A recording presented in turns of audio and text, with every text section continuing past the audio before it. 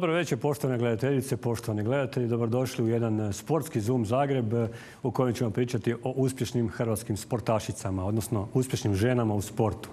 Ima ih puno, naravno, nismo mogli ih sve dovesti u studio, ni Blanku Vlašić, ni Janicu Kostolić, možda Sandru Perković, Ivanu Brkljačić i ostale, ali tri dame koje su večeras s nama sasvim sigurno mogu i imaju sjajnu karijeru koja naravno i dalje traje. Pozdravljam u studiju Zagrebačke televizije. Krenut ćemo od svjetske prvakinje u boksu. Ivane Habazin, dobro, dobro večer, dobro nam došli. Hvala vam.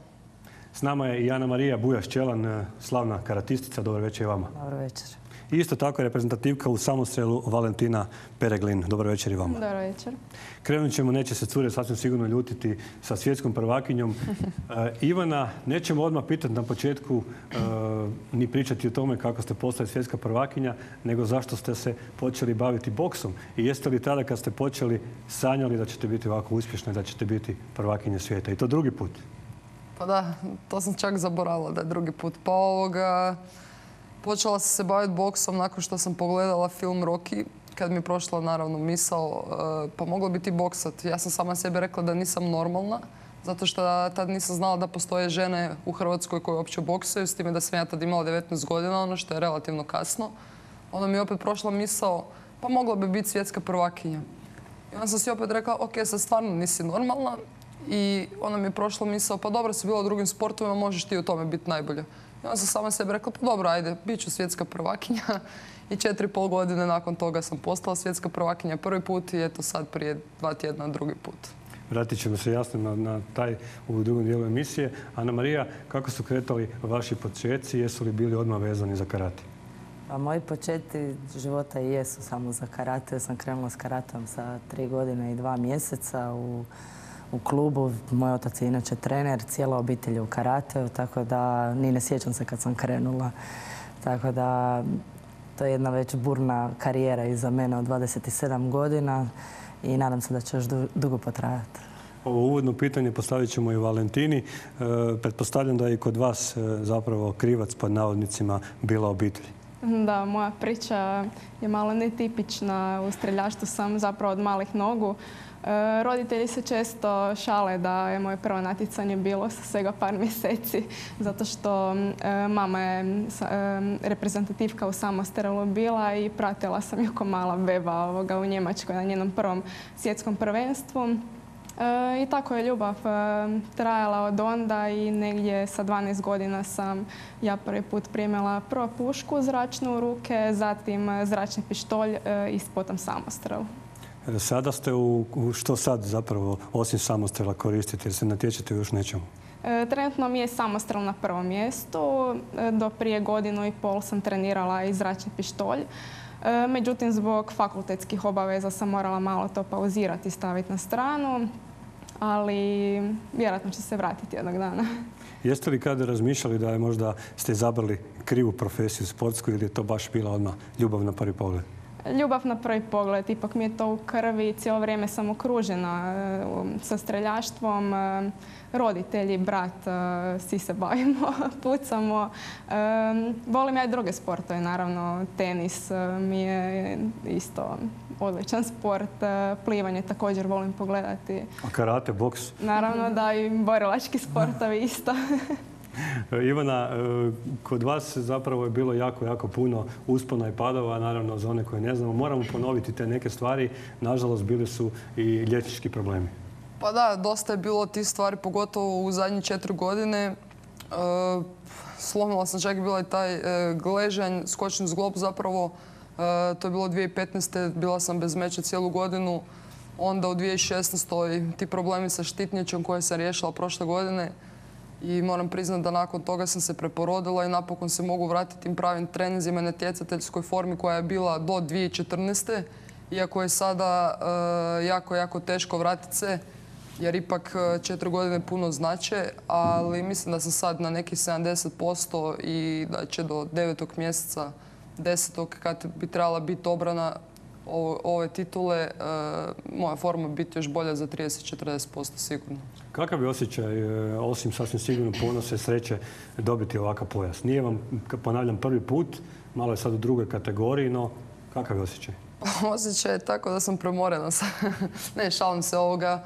Super je, pogotovo zato što nije ovo moja kategorija prirodna, digla sam se te dvije kategorije, e, puno je teže boksat u tome, meni je teže prilagoditi način boksanja, cijeli taj stil. E, još se ne osjećam kako bi se trebalo osjećati sa svojim boksom, ali ono, mislim, sretna sam naravno. E, nadam se da, da ću pokazati puno više u idućoj borbi. Ana Marija, vi ste u karijeri naravno osvajali ste mnogih medalja, što pojedinačno, što ekipno. Imali neka posebno koja je najdraža? Pa svaka ima svoj sjaj. Mislim, kao pojedinac kad radiš e, drugačije osjećaj nego kad radiš ekipno. Kad je ekipa onda sve četiri zajedno dišemo za istim ciljem. E, ne mogu navesti niti jednu, stvarno ima svaka svoje posebno mjesto u srcu i na zidu. A ovaj top ten u Zagrebu, evo, bilo je vrlo blizu i ove godine. E, pa, ja sam imala nekih godinu i pol dana malo pauze, ajmo reći, od baš aktivnog bavljenja. Tako da mi je top ten bio jedan turnir koji me pokazao da mogu nastaviti, da mogu napraviti još puno toga u karateu. Tako da, jedan poticaj za pokušati se kvalificirati na olimpijske igre. Super. Valentina, vaši trofeji su isto brojni, teško ih je nabrojati. Znate li vi koliko ste onih važnih osvojili?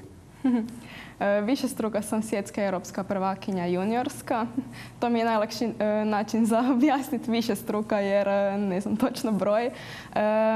Prije tri godine sam prešla u seniorsku kategoriju i dva put sam bila srebrna na svjetskom i europskom i nikako to zlato svaki put me Njemica Ina Schmidt pobjedila i eto prošle godine na svjetskom u Osijeku uspjela sam osvojiti zlato tako da sam eto svjetska prvakinja.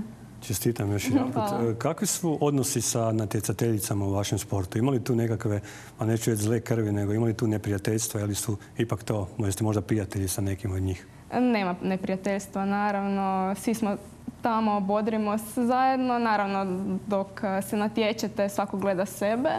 Ali ovako van terena, prijatelji smo. Ivana, jeste vi prijatelji sa boksačicama koje dobro izudarate za vrijeme meća? Jel razmijenite kasnije kakvu poruku, kakvu možda SMS ili nešto? Pa ne, ovoga, zaista ima s nekim ostaneš dobar, iako, iako dobe batina. Ali kad ti izgubiš, onda ovoga ne ostaneš dobar s tim. Pogotovo ja sa Cecilijom. Ali to ne zato što ja nju ne volim, nego ona mene ne voli.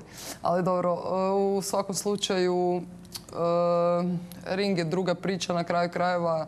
Sport je takav da odaš eh, poštovanje jedan drugome i to je to.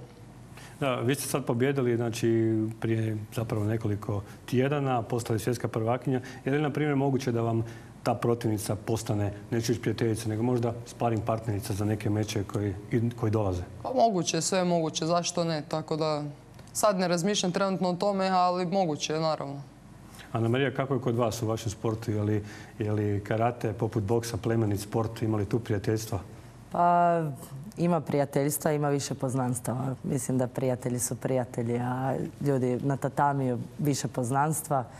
I nas je jako puno i po kategorijama, tako da ovaj, ne možemo se sa svima znati, pogotovo što se i mijenjaju starije generacije, dođu mlade i tako dalje. Ovaj, ali sve u svemu, ovaj, ja sam sa Turkinjama dosta dobra i sa nekim Talijankama, tako da ima poznanstva više. Vi ste načeli temu Tokija, kako tu sad e, idu, pa neću reći pripreme, nego evo karate zapravo tek od nedavno postao olimpijski sport, je li vam to dalo vjetar u leđa da pokušate biti u Tokiju? E, da, e, samo je jedan mali problemčić kod nas u karateu što se spajaju dvije kategorije. Znači više nema pet kategorija, nego će biti tri kategorije. E, napravile su se te svjetske rang liste. Svaki drugi vikend su premijer lige gdje se skupljaju bodovi i samo deset cura iz svijeta u toj jednoj kategoriji, znači dvije, ali jednoj, e, idu na olimpijske igre. Tako da su šanse e, male, ali mislim da treba iskušati sreću i pokušati dati sve od sebe i krenuti naprijed. Vaš otac je isto tako ugledni e, sportski djelatnik, točno baš kako ste rekli u karateu. Je li njega pogađalo sve ove godine što karate nije bio olimpijski sport i kako ste vi na to gledali? Pa on je kroz vanjsku politiku kao glavni tajnik Europske karate federacije i kroz pomoći olimpijskog odbora i svega trudili su se znači lobirati da karate stvarno postane olimpijski sport i mislim da mu je tu i mjesto i po brojnosti natjecatelja i ljudi koji se bave tim sportom i sa veliki broj zemalja se bavi. Znači, u, u Hrvatskoj je 192 članice udruženih klubova u Hrvatski karate savez. U svijetu je 190 država učlanjeno u Svjetsku karate federaciju. Tako da to je jedan veliki broj i smatram da i hrvatska politika što se tiče prema Svjetskom olimpijskom odboru je pridonjela tome da smo mi olimpijski sport. Valentina, jeste li vi zadovoljni kako je, kako je vaš sport zastupljen u medijima, kako se odnose savez prema vama, imate li dobre uvjete ovdje za pripreme, za pucanje i imate neke sponzore koji vam pomaže možda pri, pri svemu? Kako tu stojite? E, pa evo, bilo bi mi puno draže da smo malo više zastupljeni u medijima, ali svaki put nakon svakog svjetskog, europskog, tog velikog natjecanja ili olimpijskih igara e, budemo zastupljeni, no mislim da nedovoljno. Tu zbog toga fali sponzorstva. Postoje sponzorstva nekih poduzeća baš usko vezanih za streljaštvo, sponzori za opremu i slično budući da je u streljaštvu oprema stvarno skupa. E, ali guramo nekako. Što znači to skupa? Možete ne možda malo pojasniti? E, da, pa jedan samostrel e, košta oko 2000 eura, s tim da luk koji se stavlja na samostrel je potrošna roba. Ako se slučajno tijekom natjecanja zaboravi staviti strelica, što se dešava pod svim tim pritiskom, taj luk pukne, a jedan luk je 300 eura. Pa mm, i sam kroz određen period e, taj luk e, se opusti pa ga treba zamijeniti. Znači stalno treba obnavljati tu opremu i nakupe se troškovi. E, za zračnu pušku ne znam koliko ste upućeni, postoji oprema, odijela, hlače, streljačke, streljački kaput koji isto košta poprilično. Znači nakupi se. Nakupi Jeste zadovoljni sa uvjetima treniranja? Gdje trenirate? Gdje pucate? S kime trenirate? Da. E, moj tata je inače trener u klubu i trener reprezentacije. E, bio donedavno i direktor u Hrvatskom streljačkom savezu. E, ja treniram e, kod sebe u Dubravi, pokraj Vrbovca, u Streljani, znači zračni pištolj, odnosno trenirala sam do prije godinu i pol, a samo imam priliku trenirati iza kuće, e, budući da imam veliko dvorište iza i nama dolaze ostali strelci iz kluba. U drugim klubovima po Zagrebu, po Moru i Osijeku, oni imaju svoja strelišta, streljane, tako da uvjeti naravno uvijek mogu biti bolji, ali... Možda budu nakon ove emisije. Da, imamo dobre rezultate i ovako. Ivana, kakvi su vama uvjeti za treniranje? Gdje trenirate? S kime trenirate? Sad ćemo proći cijelu onu priču s kime ste trenirali do nedavno. Evo, e, prekinuli ste suradnju, ali da ja ne otkrijem ako netko ne zna, izvolite. Pa što se tiče, e, dakle, osam godina e, moj trener je bio Vlado Božić, definitivno najbolji trener u Hrvatskoj i jedan od najboljih e, na svijetu. Što se tiče samih uvjeta, znači gdje treniram uvjeti su bili savršeni, ali što se tiče logistike i priprema i treniranja, dakle to je bila katastrofa. ali dobro, to je iza nas. Osam godina smo zapravo improvizirali i uspjeli smo dva put uzeti svjetsku titulu, tako da mislim da je to jedan, jedan veliki rezultat ali da bi mogla napraviti još veći iskorak i još bolje rezultate, jednostavno e, to ne mogu u Hrvatskoj. I moj sljedeći korak je da ću otići iz Hrvatske evo, kroz neki mjesec dana. Već znam ko će biti vjerojatno trener, ne mogu vam otkriti, ali znači se vrlo uskoro. I to je to. Mislim, znači otići iz Hrvatske? Oni, ljudi kad odlaze iz Hrvatske odu u Irsku, u Njemačku, gdje ćete vi? Znate? Pa otprilike, ali neće biti, možda čak neće biti, ne možda, nego sigurno neće biti ni Europa. Ali neće ništa govoriti dok kroz deset dana bi se trebalo sve finalizirati, tako da to je to što se toga tiče. A što se tiče samih, znači, jedan od najskupljih dijelova u pripremama su dakle sparring partnerice jer ti ako želiš zaista biti dobro pripremljen moraš imati kroz mjesec dana koliko traje taj ciklus sparinga, barem njih 4-5 sparing partnerica. E, to ode čak u prosjeku od 10 do 12 tisuća eura samo na njih ono. Tako da logistika je što se tiče Hrvatske jako zakazala i vidjet ću, probat ću napraviti šta je najbolje moguće za mene i još bolji uspjeh. Da, bila je ona rečenica zapravo slična onom filmu Djevojka od milijun dolara, da ste vi bili djevojka od nula dolara. Je li se sad osjećate li da se to s ovim odlaskom zapravo već nagovješta će biti ipak bolje? Pa nula uvijek ima, samo mi fali ovaj brojka ispred. ne, ovoga, moram priznati da su se neke stvari promijenile. Potpisala sam čak, to jest sad ću potpisati jedan i dobar veliki sponzorski ugovor. E, eto, ja kao što sam rekla, ova titula je bila sve ili ništa. Bila sam svjesna šta to znači, upravo zbog toga što se otvorila neka druga šansa i vjerojatno ja sam sama sebi rekla ako to čak, ako to ne pobjedim i ako to ne mogu pobijediti onda definitivno nisam za boks i ovo mi je čak bilo možda odgovor na moje pitanje da li je to za mene ili nije i pobjedom se ispostavilo da vjerojatno je, tako da to je to, idemo dalje. Ana Marija, koliko je karate skup sport? Možemo li to nekako secirati pa reći to košta toliko, ovoliko i tako dalje ili nije to tako skup sport?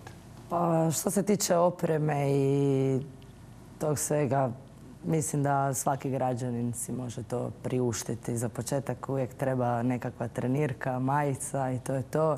Nakon toga dolazi neki kimono od tisuću kuna, rukavice, štitnici što je potrebno.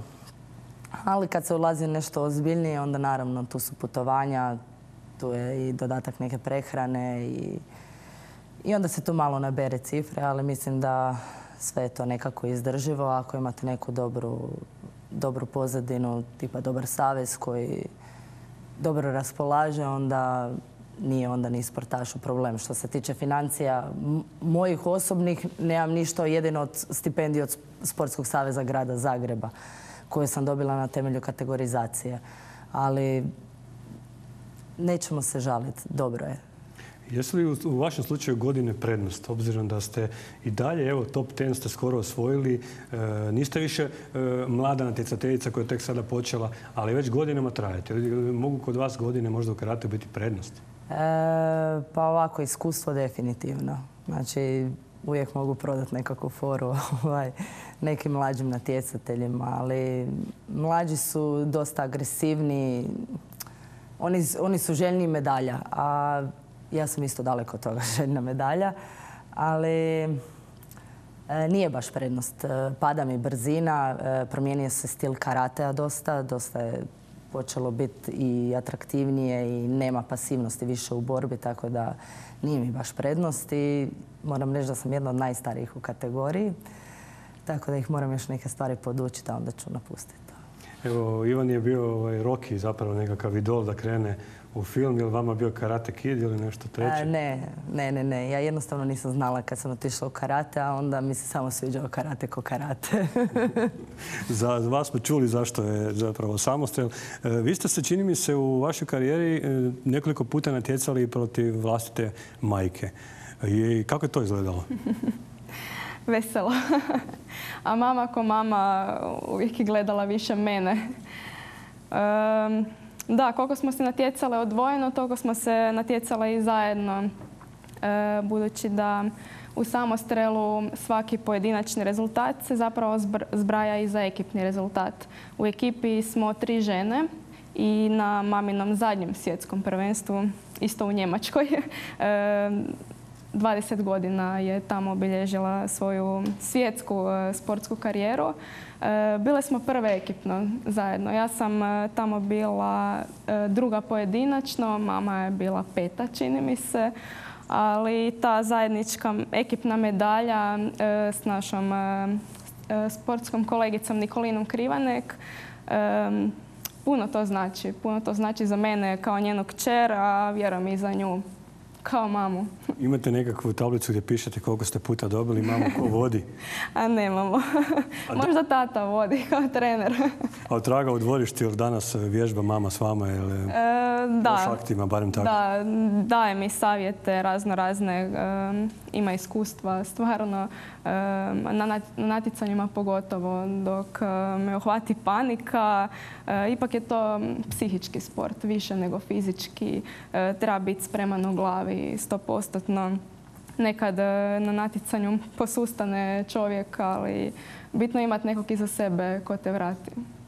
Ivana, ovo kad smo pričali o sparing partnericama, e, pretpostavljam da vježbate i sa sparing partnerima. Kako je to kad se vježba sa muškarcima? I kako njih naći? Pa zapravo to je, e, puno je teže raditi sa muškima, naravno. Ja uvijek radim i s muškima. Uskaču dečki iz klubova, ali ovoga, koliko god je to teže, toliko te, ono, ti kad- spariraš sa muškim uvijek si malo rezerviran. Jer e, nikad ne znaš zapravo kako će reagirati, jer on kad primi, naravno oni znaju poludit, pogotovo ako je žena udari. Jel vrate Ali, onda? pa naravno da vraćaju, a onda moraš preživjeti. Da, sve se smije. E, tako da nemaš štednje u ringu, ali ovoga, puno je lakše sparirati naravno sa ženama jer onda ti nemaš nikakvu tu kočnicu ili barijeru. I, a što se tiče toga kad spariraš s muškima, to je dobro upravo zbog toga da pobjediš sam sebe. I da, to je Da, to. zanimljivo. Kako je u karateu kad smo ovako, ako idemo u krug, pa evo dolazimo do Meni je najdraže raditi s muškima. Mogu pustiti ruku fino, oni ne smiju priznati da ih boli i A smiju oni pustiti ruku? Pa puste, ali oni to onako potiho naprave, onako kao slučajno. ali ne, ne, ne, mi radimo i sa curama i s dečkima. Meni je osobno sad bolje jer ipak seniorski karate i zahtijeva malo i više fizičke spreme i malo su čvršći udarci, tako da mi je draže sa dečkima raditi, ali i cure su super. Kad smo pričali o medaljama, e, pitanje za sve gošće, e, imate ih puno, no postoji li ipak nekakvo mjesto gdje ih nekakva soba, nekakva garaža, nešto, neki podrum gdje ih sve držite? Ili su možda neke kod baka, djedova? Kako to ide kod vas? Moj, jem, kako bi to nazvalo, to je moj muž nazvao, nje- moj oltar. Znači, tamo su nagrade od olimpijskog odbora i, i od sportskih novosti, od toga i, i medalje europske i svjetske. I one imaju posebno mjesto. Ove sve ostale medalje imaju posebnu kutiju. Koliko puta tjedno bacite oko na njih, pogledate jesu sve na broju? A ne, prašinu? mora, o- pored ovog oltara mora se proći svaki dan i barem tisuću puta. Tako da vidi se, ali ove druge, prvenstvo Hrvatske, i to isto imam sa strane, ali ove druge držim za sebe. Evo Ivana između ostalog i u našoj emisiji pokazuje medalje, odnosno pojas. Gdje su ostale medalje, gdje su ostale vrijednosti koje ste osvojili u sportskoj karijeri? U kovčigu. Znači s koferom hodate Pa da, s koferom to ostavim. A zapravo ja ne volim to gledati, to sam ovako u posebnim prilikama i pogotovo ne onaj prijašnji pojas jer sam ga izgubila. Tako da on lijepo stoji spremljen i to je to. A sad imam plan uzeti još tri ostala, pa onda ću ih sve gledati svaki dan. Kako to da ste izgubili pojas, da možda vratimo se malo? Kako se to dogodilo? Jeste, znate li kako se dogodilo? Pa ne, pa meč je bio, dakle, ja sam uzela IBF svjetsku titulu u trećem mjesecu. Nama je plan bio braniti titulu. e, nismo mogli izorganizirati da to bude u Hrvatskoj. E, došla je ponuda, naravno, od Saurlanda, to je jedan od najjačih promotora, e, za meč protiv Cecilije i jednostavno nismo imali izbora jer se svaka titula treba braniti u roku 6 do 9 mjeseci. Da nismo prihvatili taj meč, e, titula bi ostala upražnjena, a ovako sam onda imala šansu boksa sa Cecilijom Brajkus koja je najbolja boksačica ikada u povijesti, trenutno. I ona je pobjedila u tom meču na bodove, s time da naglasit ću samo da ja sam se spremala mjesec dana za taj meč jer sam prije toga imala jednu operaciju, a kako je ugovor bio potpisan to se više nije moglo ni odgoditi ni ništa. I to je to, sad tražim svoju šansu, nadam se možda u idućoj godini e, da će biti zaista taj revanš s njom. Valentina, nisam zaboravio pitati vas gdje držite medalje. Jesu li one odvojene od onih koje je osvojila majka? I je li točno da držite one manje važnije po košarama? da, to sam htjela reći. Ove manje važne sa županijskih prvenstva, općinskih e, i slično su u košarama ispod stola jednog. A ove važnije sa svjetskih europskih e, prvenstava također e, nagrade Hrvatskog olimpijskog odbora i sportskih novosti su u jednoj vitrini e, koja na sličan način stoji blizu ulaza u kuću, tako da stvarno svi moraju proći pored toga da bi ušli dalje u ostatak kuće. Da. E, kad pričamo o vašem sportu, o samostrelu, on je dosta težak, 5, 5,5 kilograma. Vi ga e, podignete koliko puta kroz natjecanje? Kako to izdržati ruka, zadrhti?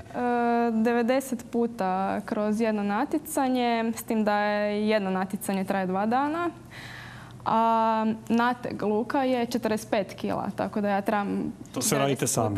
Da, sama 90 puta nategnut. Moji su računali to ispadne oko tonu, dvije valjda kroz e, cijeli dan tog dizanja. Kako to ide? Kako to... imate vi zapravo pripreme u teretani isto za vaš sport? E, da, trebaju biti i kondicijske pripreme. A ovoga, čovjek se navikne na, na taj napor. E, meni je postalo to skroz normalno. Sad, da neko drugi dođe i prvi put proba nategnuti samo s vjerom da ne bi uspio, treba osvojiti tehniku određenu. Prebaciti dio te težine na leđa, pa ne samo rukama vući, nego rukama i leđima. malo nastradaju i leđa i... mami nastradalo rame, na primjer, desno rame nije možda toliko fizički naporno za jedno natjecanje, ali kad se nakupe godine i godine, sportaš nastrada. Je li vam mama prodala, pod navodnicima, puno trikova, ne samo oko napinjanja, nego i svega druga? Ne smijete reći, da, konkurencija gleda. Da. E, Ivana, o boksu ne trebamo pričati koliko je težak sport. Mnogi su ga proglasili najtežim sportom na svijetu. E, vi ste se naučili na udarce, vaši protivnici možda i nisu. Ili ste možda niste ni vi naučili na udarce. Je li dan danas neću reći lako, ali ste se naučili primiti udarac. Koliko ga osjetite? Pa što se tiče udarca ne osjetim ništa, pogotovo, pogotovo kad je borba. Drugo je na sparinzima, to čak i osjetiš, pogotovo kad traje taj ciklus sparinga, kad spariraš mjesec dana, e, četiri puta tjedno ili tri puta tjedno, znači već nakon dva tjedna boli te glava, ono, samo od pomisle da ćeš imati sparing ali kad je meč jednostavno ne razmišljaš o tome i ne smiješ razmišljati o tome, ti znaš da si dobio udarac i jednostavno prođete to. Ali kad pobjediš onda te apsolutno ništa ne boli. Ako izgubiš onda osjećaš ne jedan udarac nego milion udaraca. Tako da ovoga, to je to. Jednostavno, a i moraš oguglat na to jer ako ti razmišljaš sad kako si primio udarac, jel te tu boli, ne boli, ne možeš se fokusirati na ono što ti trebaš napraviti. Gledali smo vaš meč za prvakinju svijeta i one silne udarce koje su legli na vašu suparnicu i vas je ona nekoliko puta pogodila, no e, kako ona udara? Jeste vi osjetili je li jaka? Jeste li znali da ćete ju pobijediti? Pa ne, teško je zapravo prve, prvoj rundi to više bilo ispitivanje. E, druga runda je bila za mene odlična. U trećoj rundi kad mi se razvezala ona pletenica, tu sam primila zaista dosta udaraca od nje jer ono i prljavo čak udara i moram priznati da sam tu pomislila izgubit ću meč. I onda sam sama sebi rekla, pa dobro, pa šta, izgubim, izgubim, ajde, probaj to izdržati dobro. I onda kad je došla peta runda, ja sam zaista mislila da je šesta runda i oni najavljaju runda broj pet, ja ovak sjedim i mislim si, tek je pola, pa ajde sad ili nikad. I uspela sam pogoditi tim svingom, još me boli šaka. Ehm, I to je to. I kad sam je pogodila, ja sam znala sam da je uzdrmana i osjetila sam to i tad sam krenula sa serijom. Među vremenu su oni prekinuli i tad sam bila sigurna da će dobiti meč i da će nokautirati u idućim rundama da oni nisu bili prekinuli. Imam lošu vijest za vas, tek je polovica emisije, tako da evo sad prilike. Ana Marija, koji je vama bio najteži trenutak u karijeri? Najteži? Da sad malo sa ovih e, uspjeha krenemo na neuspjeh. Je li, se on, je li on bio vezan možda, ne da Bože, uz zdravstvenu tegobe ili možda bio vezan uz neki težak poraz, neiznenadan poraz? Ja sam imala ovaj, podosta operacija. A moram priznati da mi je jedno natjecanje bilo najteže. Na izbornom prvenstvu mi je u zadnjoj sekundi u finalu gdje sam vodila 4-0. Valjda sam se psihofizički opustila zadnju tu sekundu i smrskala mi se peta metatarzalna iz čistog mira, to je na stopalu kost, gdje sam odmah završila u bolnici. I onda je krenula tortura, a za četiri tjedna mi je bilo svjetsko prvenstvo. Tako da to mi je bilo najgore. Htjela sam otići na svjetsko prvenstvo jer sam bila stvarno spremna za napraviti veliki uspjeh, a praktički sam ono, u gipsu. I onda sam tražila rješenje. To je bila jedan dugi vikend subota. Subota mi se to dogodila. U nedjelju nemam nikakvo još rješenje. U ponedjeljak po svim doktorima koji me hoće operirati, svi nešto joj, to je jako puklo, to se ne može, to ovo, to ono. I na kraju rješenje je došlo u pola dvanest na večer iz Rijeke da kod doktora Kirina na Sušaku da dolazim odmah na operaciju. Stavio me taj jedan mali šrafić od 8 cm i rekao je kreni trening. Kako ću krenuti s treningom? Ja sam u onoj čizmici prekrasnoj, onoj modnoj jednoj. On je rekao, gle, operirao sam te, nemoj sad biti tak slaba i, i odustat. I tjedan dana prije svjetskog prvenstva meni noga crna do koljena na štakama. Skoro me izbacio van iz ordinacije kad sam rekao da ne mogu uopće stati na nogu. I onda je rekao da sam znao da tako da si tako slaba, ja te ne bi ni operirao, sve, sve je tako u tom, ali znao je da na taj način ja funkcioniram i da će me to jedino ili ću prebaciti u glavi i zaboraviti na bol i na sve. I otišla sam na svjetsko prvenstvo. Prije borbe sam maknula štake. I radila sam protiv jedne Ruskinje koja je stvarno voljela udarati. I to jako. I došla sam u četvrt finale i to su bile mučne borbe i to sam dobila sve u principu na, na video review. Jer suci jednostavno nisu htjeli potezat.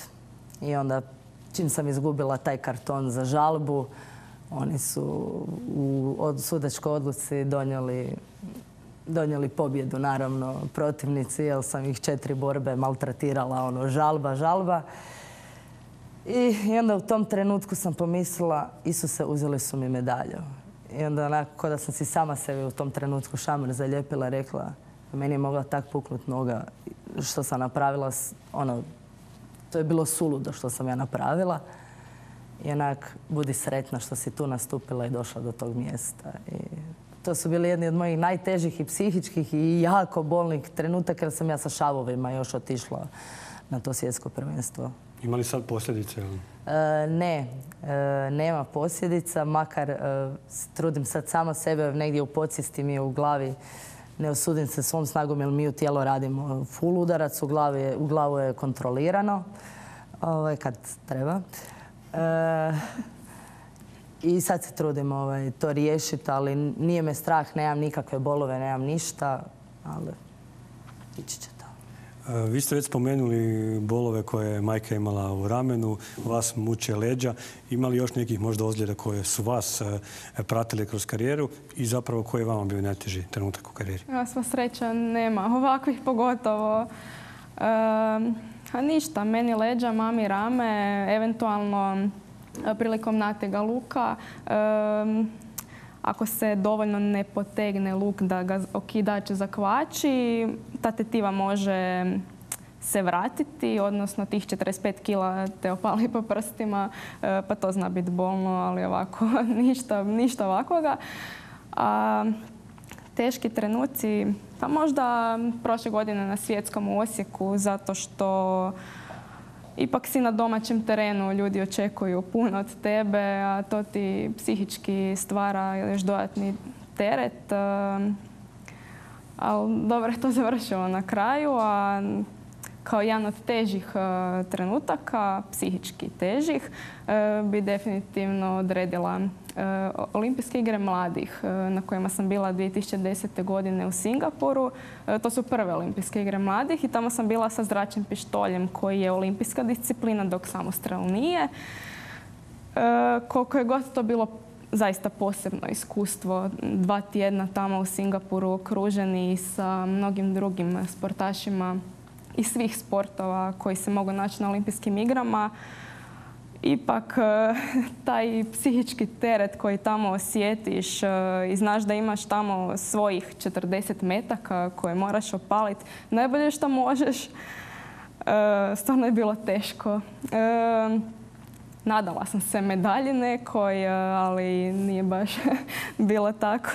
Bila sam 12, ali opet 12 od 20 e, najboljih sportaša u zračnom pištolju iz cijelog svijeta. Zlatna sredina. Da, zlatna, sredina. Ivana, vama najteži trenutak u karijeri ili ih je bilo puno više? Meni je svaki najteži trenutak. Ovoga, pa ne, e, izdvojit ću dva. Znači, prvi poraz e, protiv Eve Halaši, jer sam bila jako sigurna e, da ću to pobijediti. I e, izgubila sam taj meč, zapravo su svi oko mene bili šokirani. Nakon toga kad sam se vratila doma dva tjedna sam se zatvorila u sobu, nigdje nisam izlazila, s nikim nisam pričala. E, kad sam se vratila na treningu, znači bilo me, neću reći sram, ali ono neugodno mi je bilo uopće u dvorani, onda ljudi dođu i kažu, ha dobro, ajde, bit će bolje ovo ono. I onda ti se moraš to slušat e, i moraš, a dobro, tad sam još bila mlada, pa ajde, to me na neki način, u podsvijesti su ti te, riječi, onda se moraš motivirati na treningu, onda opet imaš strah od poraza, da li ćeš izgubiti idući meč ili nećeš. Tako da trebalo mi je tu zaista par mjeseci da, da, da posložim sve to u glavi, da ponovno krenem. I nakon toga, kad sam zaista krenula, zapravo sam te- tek tada shvatila šta je to pravi boks. I ovoga, sama sebi sam rekla, znači idući meč ćeš uzeti tu titulu i nema drugog izbora. I poslije toga sam dakle devet mjeseci zaista trenirala, samo sam razmišljala kako ću pobijediti, pobijedila sam. I drugi najteži trenutak, to je možda čak i naj, najteži, pošto je poraz bio prekidom. E, Sudac je prekinuo borbu u trećoj rundi, a meni to bilo ono ispod časti. I meč je bio protiv Mikaele Lauren u, za VBC titulu. I ovoga, kak je meč krenuo, ja se ni- nisam, ono, ne da se nisam snašla, nego je odmah, ona pogodila me čak bila u jetru odmah. E, I to ono, to je jedan od težih udaraca. I jednostavno ja sam znala, ok, pogodila me, ali ajde izdržat ćeš ti to. Iako jednostavno ja nisam imala rješenja, pogotovo zato što u cijelim tim pripremama, to je bila ta faza kad sam ja bila bolesna, da nisam znala šta je. I koliko god da bi ja trenirala i koliko god da ti kreneš, ja sam gubila zrak i snagu već nakon dvije, tri runde. I ona tu je bacala serije, serije udaraca. Nikad u životu zapravo nisam dobila toliko udaraca. Ono, glava ti je kao bubanj, a ja sama sebi sam rekla nema šanse da ću ja prekinuti borbu ili da ću se baciti, ono, nek me nokautira. I sudac je prekinuo meč. Iako meni je to bilo, ono, ja sam tada rekla i prije tog meča da više neću ni boksati ako tu izgubim. I čak pet mjeseci nisam ni boksala, ali mi je bio zaista, koliko mi je bio najteži poraz, toliko mi je bilo neko olakšanje. Ali sad kad se vratim unazad i kad znam da to nije bilo mojom greškom, čekam taj revanš s Mikaelom da je mogu vratiti ono. Jer je to, koliko god da izgubiš, na primjer, možda na takve neke načine, e, na kraju te svaki taj poraz može više motivirati da pobjeđuješ. Dok e, Valentina razmišlja da je nekog gađala, na nekog gađala sa zračnom puškom ili samostrelom, ja ću pitati e, cure da li ste vi nekad svoje vještine morali upotrijebiti izvan borilišta? Evo prvo za Ana Mariju. Strogo zakonski zabranjeno. Što ne znači da niste možda ako? Ne. Nije znači niko provocirao, z- znao s čime se bavite. Kako je kod Ivane? Ne. Za sad. Definitivno ne. Neću vas ni pitati. Meni pogotovo ne. to- Svi smo zakonski zabranjeni. E, Što je najteže u vašem sportu? Jesu li to treninzi? Koliko, koliko dnevno puta trenirate? Koliko je to sati? Naravno da ovisi je li velika borba pred vama, je li, ali otprilike nekakav prosjek. Pa ne, ovoga, e, sve je teško. O, Pa treniram svaki dan, znači srijedom je jedan trening, to je bila regeneracija, to je samo trčanje tipa od sat vremena, sat i 15, nedjeljom odmaram, ostalo su po dva treninga. Kad su baš pripreme za veliku borbu, onda u toj bazičnoj pripremi su čak i tri treninga, ali ono u prosjeku ode od 5 do 7 sati dnevno, 4,5 do 7. Ana Marija, kod vas? Kod mene nekih tri sata dnevno. U sve moje obaveze još tih tri sata mislim da je čisto dovoljno. Uz, usku- uz iskustvo. da. Valentina, kako je kod vas? Koliko je E, to Tri dnevno? sata dnevno, e, šest dana u tjednu. Kad smo pred velikim natjecanjem, onda to bude svaki dan. E, Nekad i po dva puta tjedno, ovisi Ovisi u kakvoj si formi trenutno. Ako skužiš da imaš za tjedan dana neko veliko natjecanje, a ne štimati nešto u stavu, u bilo čemu drugom e, ili u glavi, e, onda pojačaš treninge i nadaš se najboljem. Je li kod vas e, imate li nekakvu trenersku žicu? Želite li biti možda trenerica jednog dana? Možda već jeste? Nisam, nisam previše ni razmišljala o tome, ali zašto ne? Nastaviti e, tradiciju obitelji. Ana Marija, vi, vi već jeste trenerica. Da, Čemu se radi? Koga? vodim znači svoju grupu već tri godine. Imam male pikače vrtičku dob i sada već sedmi i osmi razred, znači do osmog razreda imam grupicu. E, pa to je jedan, jedan od najljepših dijelova ovaj, trenutno. To mi je nova zanimacija i stvarno to radim sa velikom ljubavlju. Koliko u biti možeš i kroz njih još puno toga naučiti o svom sportu i, i o životu. Tako da je jedno lijepo iskustvo kroz koje prolazi. Ivana, ima li u vašoj glavi možda razmišljenja da ćete jednog dana biti nekome trenerica? Pa ne, jednostavno. Nemam takvih ambicija. Radila sam neke privatne treninge ovako da popuniš financijski dio prije kad sam imala više vremena, ali sad kad je ova priča više ozbiljnija ne stignem. Ali jednostavno e, nemam plan se baviti time. E, plan mi je više kanalizirati taj boks e, kroz neke druge stvari. Pa ćemo vidjeti šta će biti u budućnosti. Jeste li vi, obzirom da se bavite boksom, družite se i sa sportašima i sportašicama iz drugih sportova, je li puno teže vama kao u individualnom sportu uspjeti doći do vrha? Pa teže. Ja mislim da pogotovo ovim manjim individualnim sportovima da je puno teže pogotovo kod nas jer je to tako. Jednostavno kad ljude tražiš ili pitaš ono da sponzoriraju boks, on, ja sam imala par komentara, ženski boks, ko to gleda? Tako da dok god se ne promijeni mentalitet, ne samo vezano za boks, na kraju krajeva i muški boks je problemima kod nas, neće se ništa promijeniti. Ko gleda karate, Ana Marija, i zašto ako ne gleda, zašto bi trebao gledati? Karataši gledaju karate. ovaj, e, Jeste zadovoljni sa medijskom pažnjom. E, evo, nedavno je potpisan sporazum da bi se trebalo zapravo više pratili, pratiti mediji, posebno žene u sportu, kolektivne i individualne sportovima. Pa e, smatram da ženski sport možda je zakinut e, malo i na tom dijelu se stvarno treba poraditi i nadam se da će nam naši muškarci dopustiti u tom dijelu. Ovaj, ja nikad nisam bila diskriminirana, tako da ne mogu o tom dijelu pričati, ali čula sam dosta priča, tako da od mene će žene uvijek imati suport. E, karate je sve više i više medijski zastupljen. Što se tiče sponzorstva, radi se na tome. Mislim da, bi se trebalo malo i neke stvari i zakonski promijeniti kako bi mogli lakše doći mi sportaši do sponzorstva kao i klubovi. Tako da mislim da još ima jako puno posla u sportu što treba napraviti da bi bilo bolje novim generacijama. Vi ste nam već rekli da zapravo bi voljeli da je malo bolje medijski popraćen samostel i sve ostalo. Recite mi, kad ste na natjecanju, koliko čujete navijače, publiku, rodbinu ili ste totalno koncentrirani na ono što radite? Jer ih uopće čujete? Ovisi na kojem natjecanju. Na nekima ih ni nema toliko da bi ih čuo. pa budući da nama je najbitnija koncentracija, toliko toliko i da se glasno navija iza mene, meni je cilj ne čuti nikoga. Stvarno mislim da sam kroz ove godine treninga i natjecanja uvježbala tu neku sposobnost koncentracije di gledaš samo svoj posao, ne gledaš okolo. Ali na nekim velikim natjecanjima e, ovisi šta ti prolazi kroz glavu. Ako te nešto omete i u tom trenutku ti čuješ nekoga iza sebe, um ti se skroz okrene i samo čuješ odjednom sve više i više i u tom trenutku se teže vratiti zapravo u svoj meč, u svoju metu, e, ali treba to uvježbati i izvršiti. Ivana, kako je bilo u Beću sada na, ovom, e, na ovoj bitci za naslov? Jeste li vi čuli vaše navijače ili se isto vi isključite samo koncentracija na ring? Ma ne, ja nikad ne čujem ništa i jednostavno od početka je to tako. Fokusirana sam samo na trenerov glas i ja znam čak kad su me ono prijatelji znali pitati pa jesi čula kak se deremo? Ja nikad ništa ne čujem.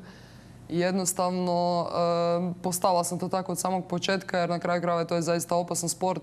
Jedan udarac može biti koban za tvoje zdravlje, pogotovo jer se udarci primaju u glavu i nikad nema s tim problema. Ono. Da koncentracija i fokus su tu najbitniji, tako da to odrađujem, ja mislim, dobro.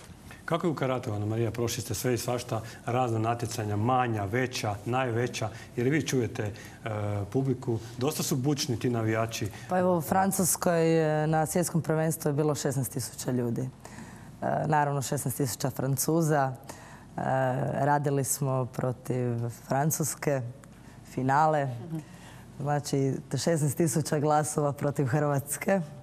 Mi smo se lavovski borili i od cijele te mase znam da, da mi je tata sjedio negdje u tribini na sredini ove, Bersija i samo sam čula da mi je rekao jače.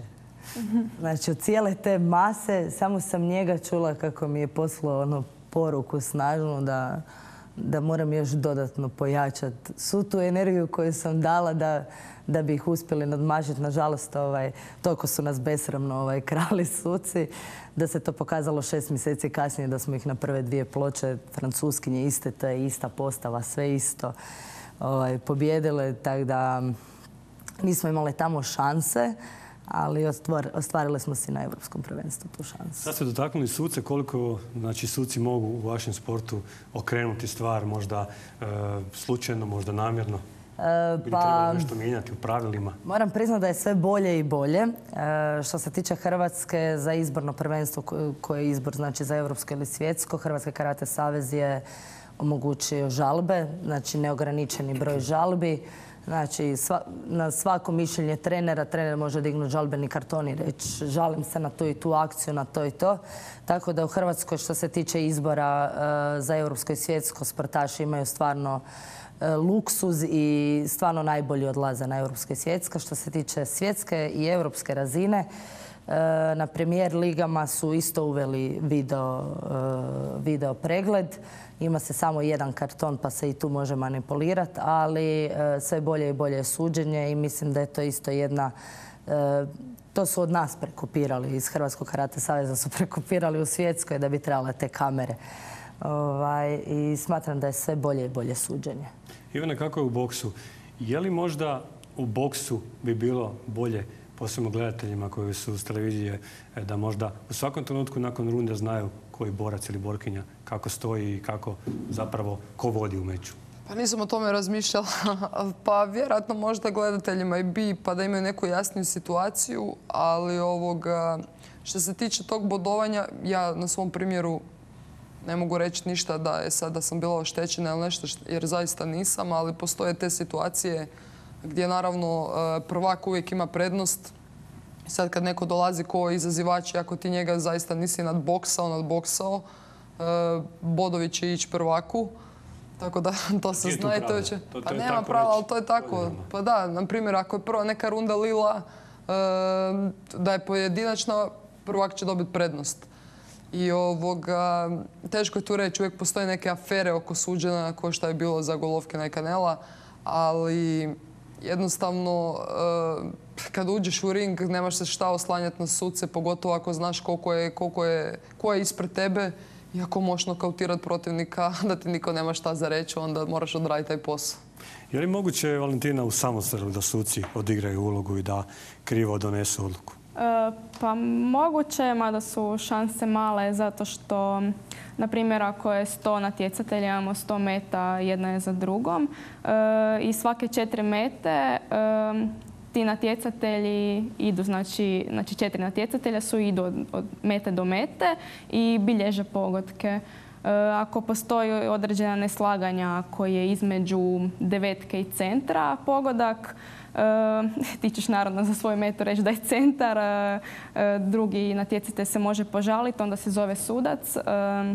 Sudac dođe i njegova odluka je znači konačna odluka ako je ta meta, ne znam, od Francuza, a sudac je Francuz, može se dogoditi da e, ocijeni taj pogodak većim. Mada možda i nije, ali rijetki su takvi slučajevi. A na mene što nedostaje Hrvatska da bi bilo više žena e, uspješnih u sportu? Je li to što zapravo nedostaje? Što nedostaje? Što smo malo Imamo jako puno uspješnih žena. Ali nažalost e, djevojke se ne žele aktivirati u druge djelatnosti. Mene je to osobno interesiralo, znači politika i sport i treninzi. Znači, ja sve što radim, radim stvarno sa ljubavlju i, nisam nalazila na, na nekakve prepreke. I mislim da djevojke se trebaju okuražiti i krenut. I ne trebaju se ničeg bojati jer smatram da u Hrvatskoj smo više manje svi ravnopravni. Što vi kažete na ovo? Što nedostaje Hrvatskoj da ima još više žena uspješnih u sportu, iako ih imamo stvarno jako puno uspješnih? Pa sad je zapravo pitanje koliko ih to ima malo da su uspješne. Ja zaista znam brdo uspješnih žena, da. Tako da teško je to reći. Jednostavno možda ovoga još nisu isplivale na površinu, ali možda ih ima i više nego muškaraca. A da to ni ne znamo. Jer ovi koji su i uspješni su kvazi uspješni. Ja mislim, pardon, ja mislim da ima više ovo što si rekla, da ima više uspješnih žena u sportu nego što je muškaraca. Samo možda nisu toliko medijski eksponirane. E, treba raditi Ali vi radite na tome, evo vidim da ste na dobrom mhm. putu, pa onda... Morat ćemo svaki petak onda pozvati. Pola deset, da. Pola deset, da. Da malo, evo, pred krajem emisije krenemo na one malo ležernije vode, iako vjerujem da je vama i vaš sport u nekim trenucima ležeran. Namjerno gledam Ivanu, ali tu je i Ana Marija. Valentina, slobodno vrijeme i općenito što radite dok niste na e, treningu, imate li čime se još bavite, studirate li? E, da, studiram. E, sad sam na petoj godini poslovne ekonomije. E, znači, diplomski završavam. U petom mjesecu mi završavaju predavanja. Onda trebam još napisati diplomski rad. I na jesen će doći diploma. I dalje ćemo vidjeti. Postoje određeni planovi, ali s tim nikad ne znaš. Evo čitam ovdje, svašta se može naći na internetu, vrlo zanimljiva je priča o Ivani Habazin. Kaže, četiri godine provela u samostanu, onda je shvatila da to nije za nju. To je samo jedna zanimljiva crtica iz vašeg života. E, za one koji ne znaju, a pretpostavljam da mnogi znaju, e, diplomirali ste na jednom fakultetu. Kojem? I to vam nije bilo dovoljno. Upisali ste ne još jedan, nego dva. Pa ne bi ja baš rekla da je to tak zanimljiva crtica šta se tiče samostana, ali dobro, ljudima je zanimljiva.